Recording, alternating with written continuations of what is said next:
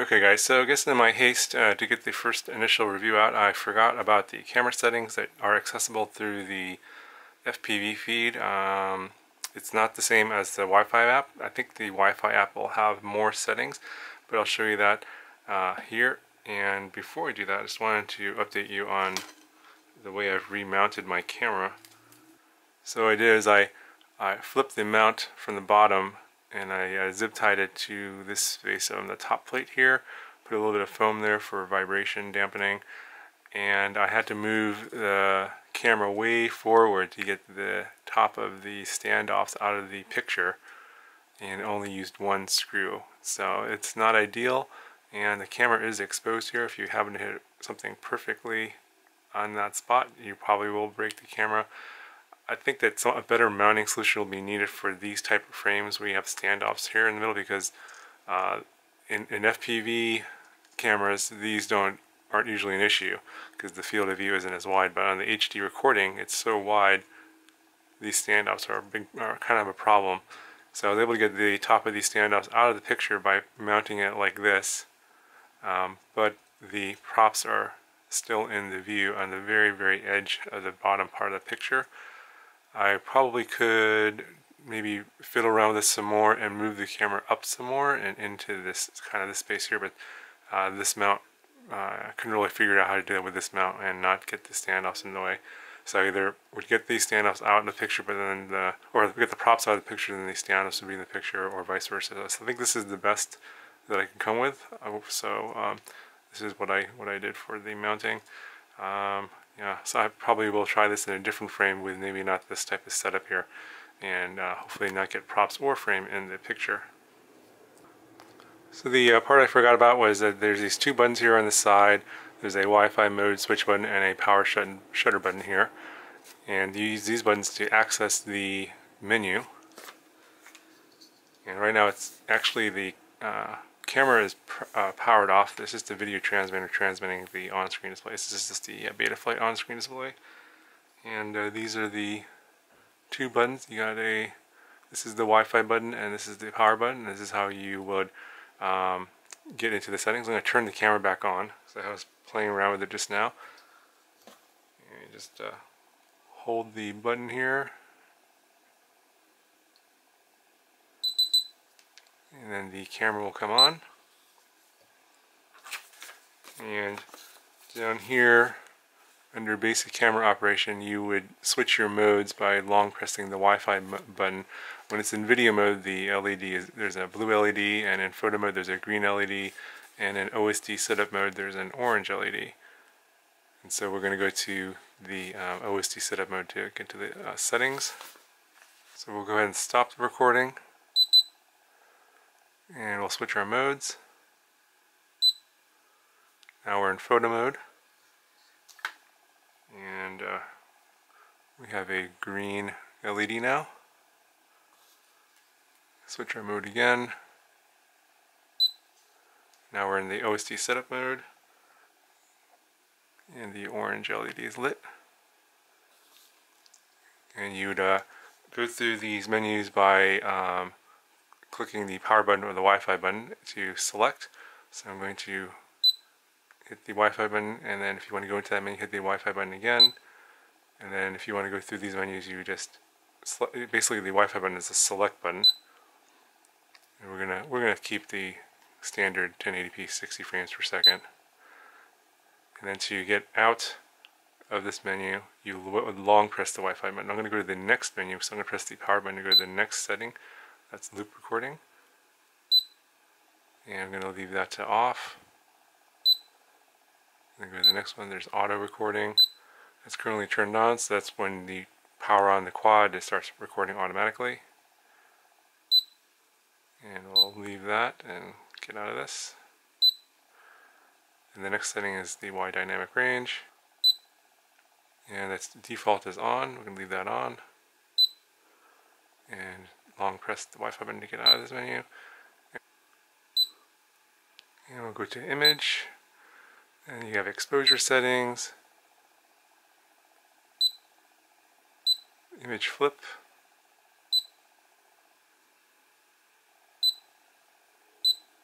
metering mode. I think these are all the same settings that are in the uh, RunCam 2 and RunCam 3 field of view. So here you could change, you could adjust your field of view on the HD recording if you feel that uh, you want to go to uh, medium or narrow. Uh, in case you have that problem. Where I have where the standoffs are in the way, I could probably do that. I'm going to leave it at wide. And we'll get out of this. And there's TV out. Micro SD card. I think that's for formatting. This uh, card information I got.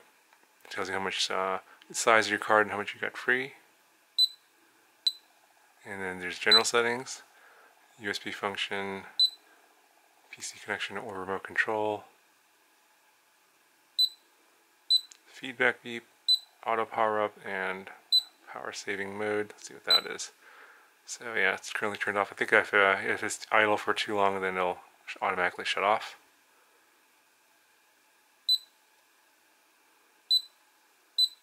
And that's all the settings that we have available to us here.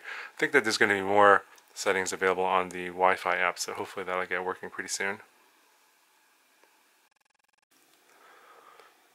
Okay, so RunCam was very uh, quick to respond, and they sent me a link for the beta app, or the beta version of the RunCam app. So I, uh, I downloaded that, I put a link in the description for that. Offers you the RunCam split to connect to. Uh, I believe they said that the um, Apple version is already in the iTunes store, and so you guys are that running uh, iPhones shouldn't have any issues. And we'll go ahead and connect to the camera and take a look at the settings.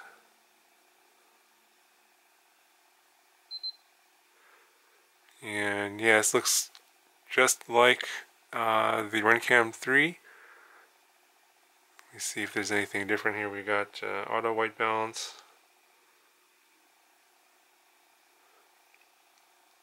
And so you got, let's see here, sunny, cloudy, fluorescent light, and incandescent light. I usually just leave that on auto.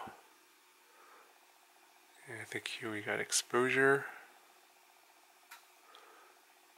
And I'll leave that alone. I can adjust the exposure there. There's field of view. So I guess we can go to a medium field of view, it zooms it in a little bit. And that's narrow, and it zooms it in a little bit more. And we're back to wide. And yeah, now the app you can see where the um, props are, are coming in over here. You can see that right there. And right over there. So if I go to a narrow field of view, Still see the props a little bit right there. Just a tiny bit. But the props don't bother me so much, so I'm just going to leave it on wide.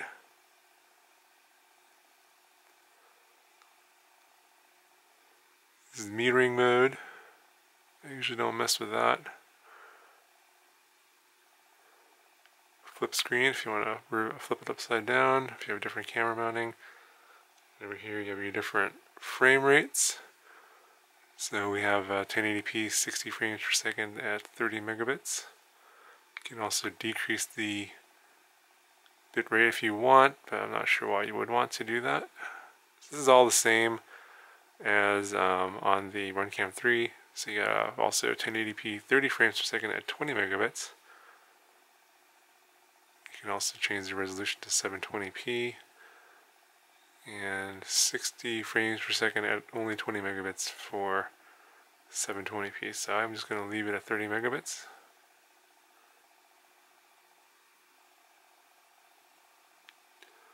And I think this button's here for slow motion. I never use that, so I'm going to turn that back off. And then down here you got different modes. You got your got your burst mode for rapid pictures. So I guess I could press that, take a few quick pictures. So I'll take three.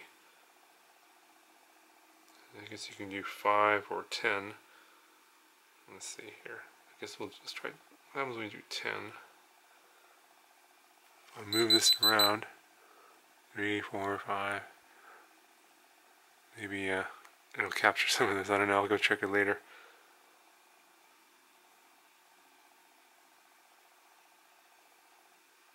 Change that back. You know, time lapse photos here. So it has all the same features as the Runcam 3. You can do um,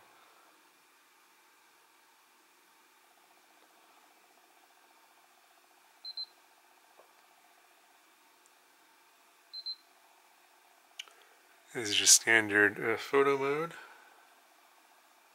And you can have a timer on. You can do time-lapse video.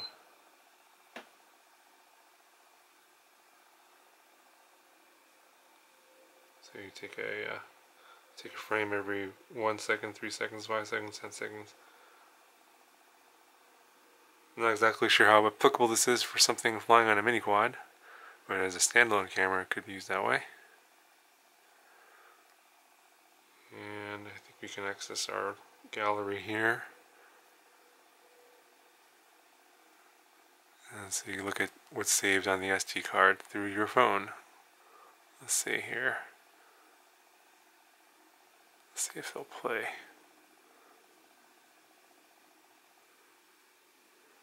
Yep, it does play back on your phone.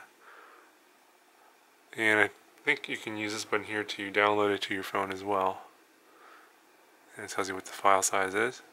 So you could uh, download files from your camera via Wi-Fi.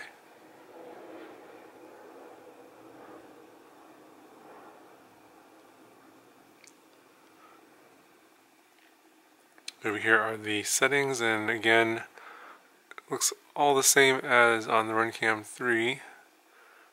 So I'm going to leave all this as default. I think they only recommend turning wide dynamic range off if you're in extremely sunny conditions. So like no clouds, uh, middle of the day, probably in, in those uh, in those conditions, wide dynamic range isn't all that useful. It's more useful for like low light situations or where you're going to have extreme contrast situations like uh, uh, late late afternoon or you have clouds in the sky where you have uh, changing lighting conditions. That's where wide dynamic range is pretty useful.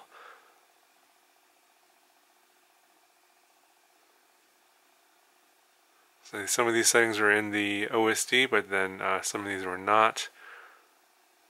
But uh, this looks like all the same features in the Runcam 3.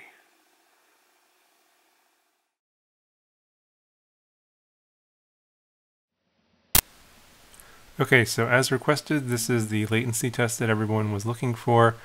I personally don't feel that this method of latency testing is all that accurate, and there's a Joshua Bardwell video that explains why that is. It's highly technical and, and very long, so I'm not going to explain it here. But because this was uh, requested so off, so much, I went ahead and did it. Uh, it was very hard to find frames where the image in the FPV screen wasn't blurry. So that's why um, it's uh, this is not a very, I don't think it's a very good test. So I'm filming this at 120 frames per second and I slowed the video down to 25% and I tried to find uh, frames where the, uh, at least the numbers on both screens were not blurry. And so I did five samples here and I think there was one aberration, 17 milliseconds, and I think all the other ones were in the mid 30s. So I'm not sure if that's 100% accurate, but I think that's also the number that Runcam was also advertising on their uh, product page, so can uh, take it for what it is.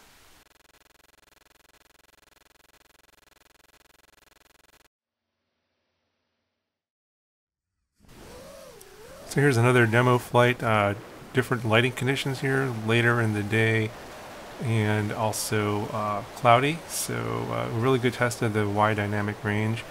And I've always found that the image on the GoPro in, in this light condition specifically was not that great. Ground tend to be uh, very dark compared to the Runcam image. Now I know that there's a lot of uh, people out there arguing that the GoPro image is superior, and I tend to agree with that overall. That the GoPro image is better, and also for especially for people that do uh, video production uh, professionally, the, the quality is better on the GoPro. But for most people that don't do video editing and are just um, you know, flying their mini quads around for fun, uh, this is a pretty pretty good solution. It's only seventy dollars compared to the three hundred dollars for the uh, Session Five.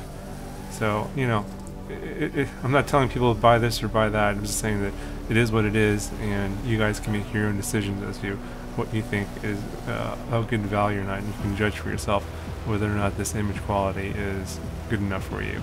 So I'll put um, the raw file, I guess, for this flight in a link on my Dropbox. And so if you want to download the non-YouTube compressed version, uh, I will put that link in the description as well, so you guys can check that out.